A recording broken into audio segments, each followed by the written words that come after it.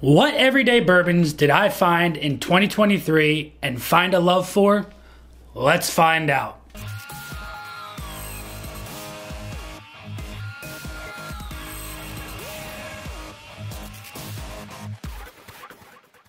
What is going on everybody? Nathan here with the Everyday Drinker bringing you guys a brand new video. Today I'm going to go over my favorite bottles of bourbons that I found in 2023 that are not super limited not allocated but are regular bottles that you can go out there and find for the most part sitting on shelves. Now these bourbons are not strictly to be released from 2023. These are bourbons that well maybe I just didn't have before and found, picked up and found a love for and I want to let you guys guys know what those bourbons are because, hey, maybe you were sitting on these bottles, didn't really know what these bottles had to offer, and well, I'm going to let you know what those are. Before we get into my bottles, though, as always, I want to know what bottles you found in 2023 that were just regular shelf bottles that you picked up and that really you've really found a love for. If you're brand new, drop that like, helps to uh, channel like you wouldn't believe and smash that subscribe button so that we are on the road to 10,000 subscribers.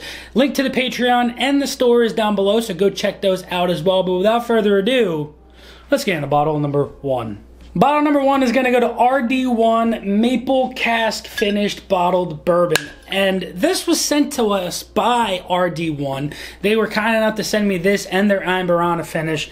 And this is so darn good. If you're looking for a dessert in a glass, this is definitely one to go for. It's not going to be that traditional bourbon in your face, oaky, you know, a little bit of a vanilla bomb. This is going to be a maple sweetness, a maple pancake in a glass. You can pour this over a rock ball and it's an old fashioned in itself pretty much. Absolutely love this bottle. It's coming in at 99.9 proof, so almost at 100 proof. You know, you're almost hitting that triple digit mark.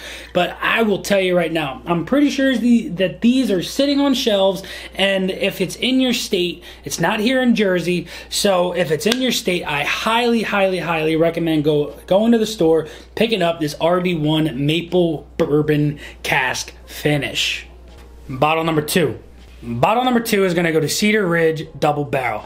This bottle is wowzo, so darn sweet, so darn char, sweet char. There's a vanilla. There's a little bit of a chocolate espresso note coming through on this bottle.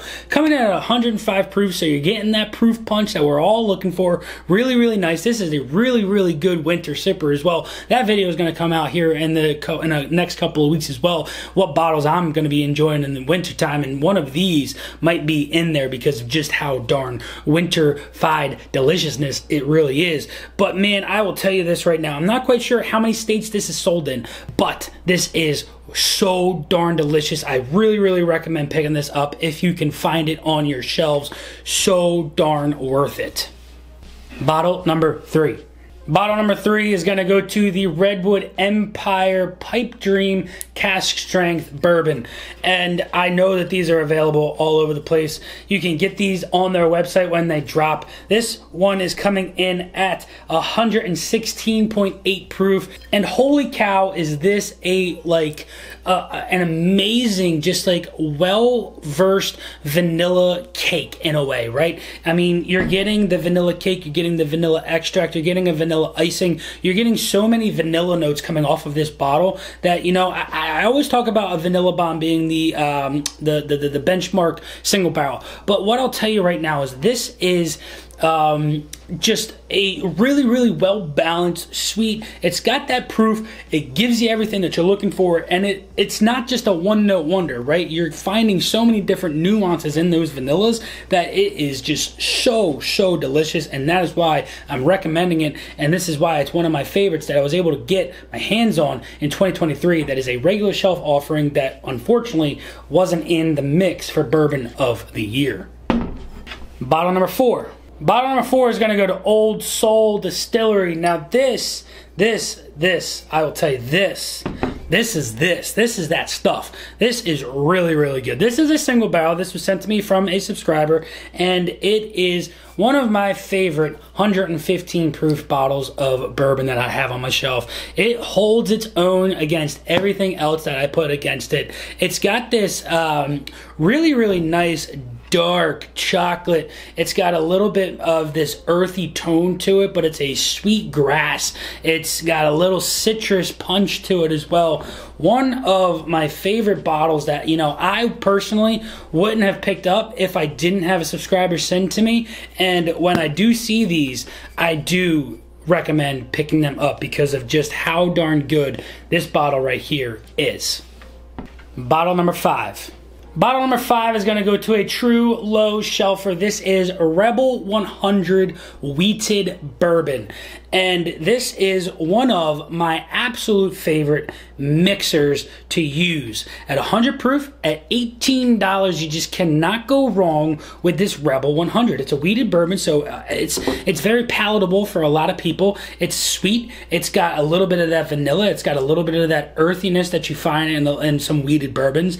But it, it's it's it's not super it's not super complex. That's why I really enjoy using it as a mixer, and it amplifies those this, the flavors that you used in those cocktails. When I used orange bitters in an old fashioned, you get those that, that sweet orange, but a little touch of that bitterness. When you use chocolate bitters, it amplifies that sweet chocolate in there, and it is a really really nice bourbon that amplifies the the, the components that go in those cocktails really really well, and that is why Rebel 100 Wheated Bourbon is on this list. Bottle number six Bottle number six is going to go to the benchmark single barrel. And I know I was talking about this one being a layered vanilla cake, but this one is just a one layer cake and it is a vanilla bomb. I, I don't know who I've poured this for because this is like my second or third bottle of this. I can't really remember.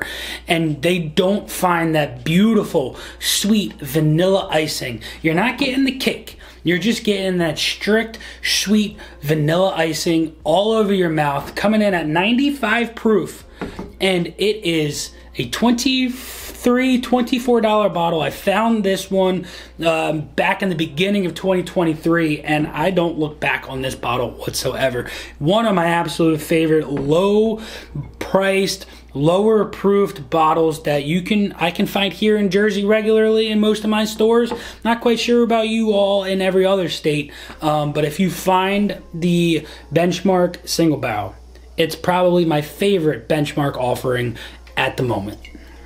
Bottle number seven. Bottle number seven is going to go to John J. Bowman Single Barrel. Now, we just had this bottle on the bottles that I always hunt and will always have on my shelf.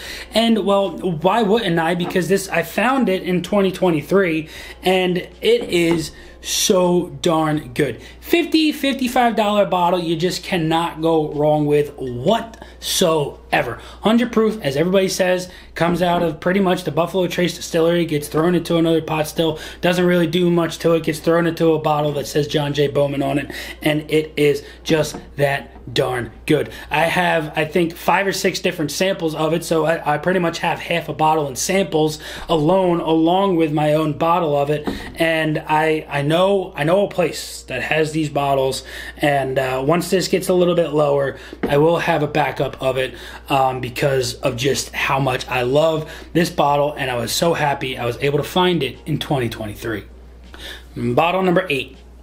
Bottle number eight is going to go to 13th Colony rye whiskey finished with French oak staves. Now, I know I'm throwing a rye on this list because it definitely deserves to be on this list. And uh, I will definitely be picking up a second bottle of this once this one gets a little bit lower. 13th Colony was kind enough to send this bottle my way, and I love this bottle so, so much. Coming in at 94 proof, you're getting that really nice, um, deep, rich French oak. It brings that deep, rich, uh, dark vanilla that comes through. It's almost like it's, you just straight up having vanilla extract coming out of this rye whiskey, and it's it's bold. It's really nice. you you're getting that uh, really nice orange note, but you're getting those um, uh, a little bit of a pininess to it as well.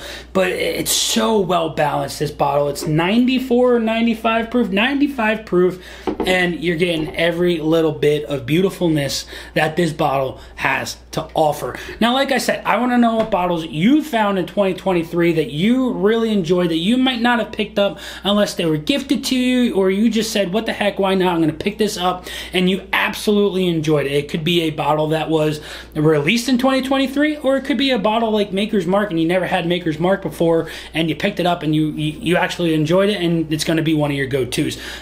I want to know what those bottles are for you guys. Like I said, leave that like, drop that subscribe. Till next time, this has been Nathan with the Everyday Drinker. Cheers.